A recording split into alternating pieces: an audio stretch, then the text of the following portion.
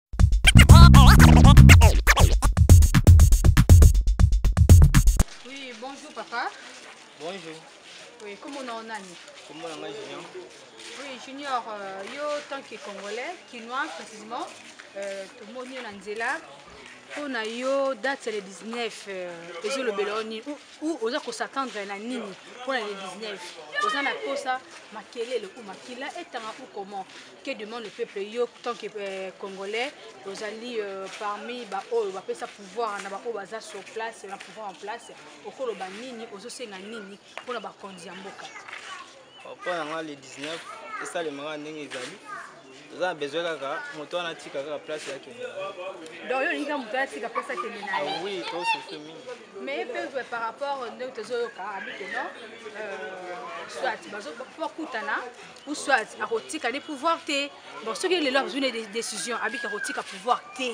yo tant que peuple congolais osala nini ezala héritage na ye te eza héritage te eza pouvoir eza mikanda basinyaki date ekoki akende na ye akende Ok, d'accord, merci pour la bonne journée et bonne chance. Oui, maître, bonjour. Bonjour, maman. Oui, tu es au couteau. Ah, ouais, maître mécanicien, hein, la moni. Oui. Eh, maître, eh, lelo, micro na biso ezo tambola epa na bino mpona kotuna bino population mpona date ya le 19 le 19 décembre mpo na yo ozozela nini le 19 décembre mpona ngai na oloba naozela euh, solution na ndenge bazoyokana bakotaki dialogue nayebi ke normalement moto aza en place aza pouvoir le président actuel eza mokolo oyo ye fo annonce ke ngai tokosala baélection mai nakozala sous candidat te na ndenge wana peut-être ekoki koapese moral mais tant que leader to président de la république azo kose prononce te seke moral eza toujours mokolo ebongo eh, lelo soki ye moto yango mpe alobi ke eh, ngai tant que garant de la nation nakolongwa na ngai te natikali parce que yazolinga tout baaccorde susu chance alors so babi ke non botikela nga susu temps soki insiste toujours na décision na ye ke noki batikela ye temps yo tant ke kinois okosala nini parce que nayebi ke biso bacongolais tosupporta vraiment euh, bagrève wana te mo bambilinga minga tosupporta yango te est ce que olinga ovanda ndako le 19 ti mokolo oyo ya ozala na besoin atika pouvoir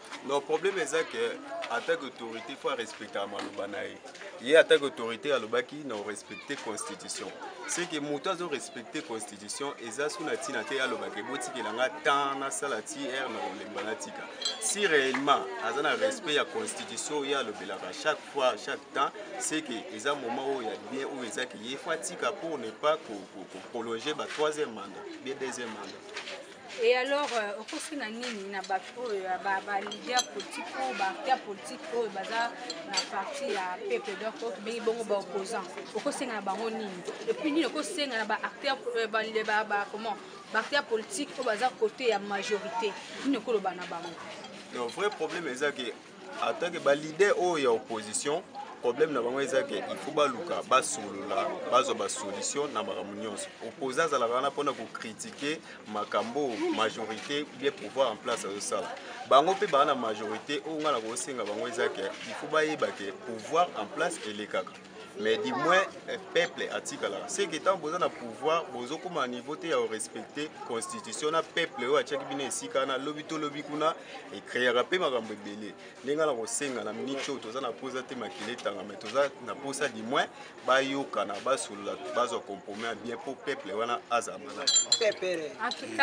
Merci, merci, tout c'est fini. Merci. Alors, bonne bien. Hein? Bonne journée à toi. Mmh. Oui, bonjour papa. Bonjour madame. Oui papa, euh, tout le monde est en délai, excusez pour le dérangement. Oui. Tolingi yo tant que papa. Oh, euh, comment oyebisa oh, biso nanu par rapport à date ya, ya le 19 décembre oyo oh, bato nyonso oyo oh, yo tant que euh, congolais tozali kozela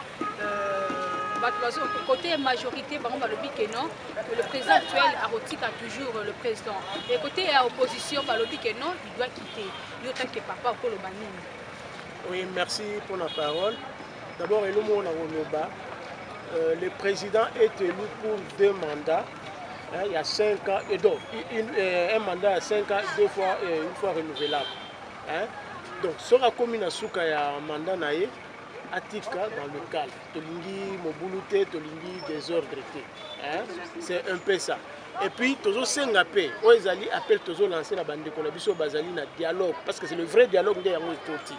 basolola bayokana c'est vrai le 19 c'est une date comme euh, toutes les autres dates hein? oui. il y aura un matin il y aura un midi il y aura un soir mais tolingi que date wana ezala date historique mpona pays na biso hein, eza la date ya alternance hein, na pouvoir le président kabila oui a fait son temps to remercier ye mais ayeba mpe kotikela bato mosusu ayeba mpe kotikela bato mosusu basala c'est comme ça que nous, nous devons vivre tolanda exemple ya france tala françois hollande amoni ke akozala capable te ya kopase na élection il a déposé hein? calmement aluka dauphin na ye il a encore grand temps tolingi te ke tokoma parce qu'il y a encore des nous sommes en train de penser nos plaies il y a beaucoup de morts il y a des gens qui traînent dans les morts de tout ça tolinga te to revivre la même situation et alors papa soki a insisté kaka toujours ou côté majorité a insisté que non qu'il reste et c'est fait que non atikali na ye omoni te ke no makele kotanga susu ndenge esalamaki mpona le 19 septembre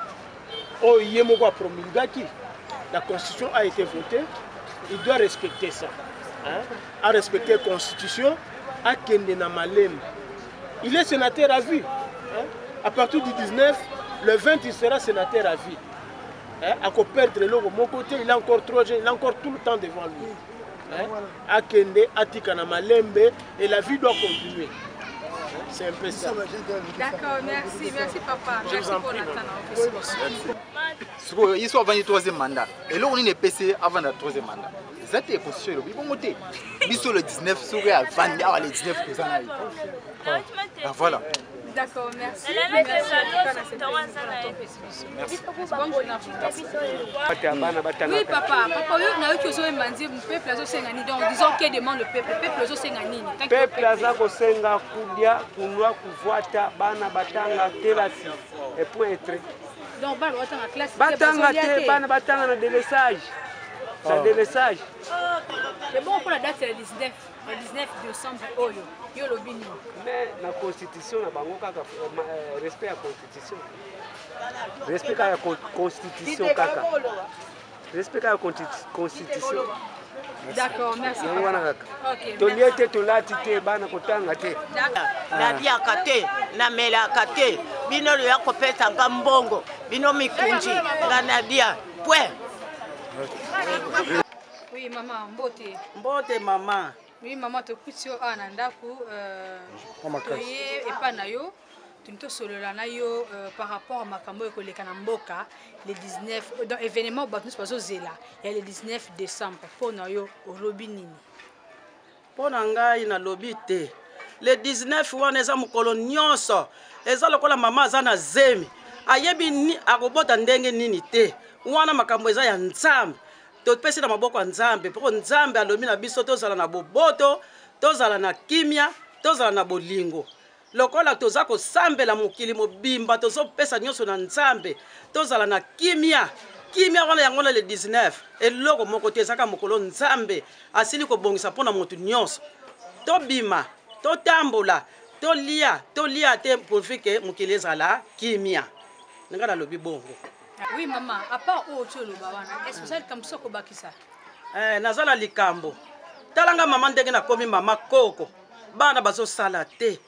banda ntongo koluka eloko te akolia ata matembele mbongo eza te mpo bana baza kosala te lokola toza na bana biso bino boza koloba na biso ntango nyonso avenir ya bamama na batata ezali na bana bana bazwa misala nzambe toza kolela epai ya nzambe tozolela mpe epai ya bakonzi ya mboka bango nde bana na biso bayaya ya bana na biso bango nde bakonzi baleki na bino wana bandako biso bamama va tobika biso toyebi epai bino bozalaka te mpo toya kosengaka me oyo toza na bango na bandako soki baza kosala na bango malamu biso tokoya epai na bino te eh? tokoya te mpo tosenga lokola bino bozali likolo bana na biso bazali baleki na bino bosunga mboka kongo oyo tala ngai suki ya pembe miso mpe naza komona malamu te naza na lisungi te nakende kozwa traitement wapi otuna bana mbongo eza te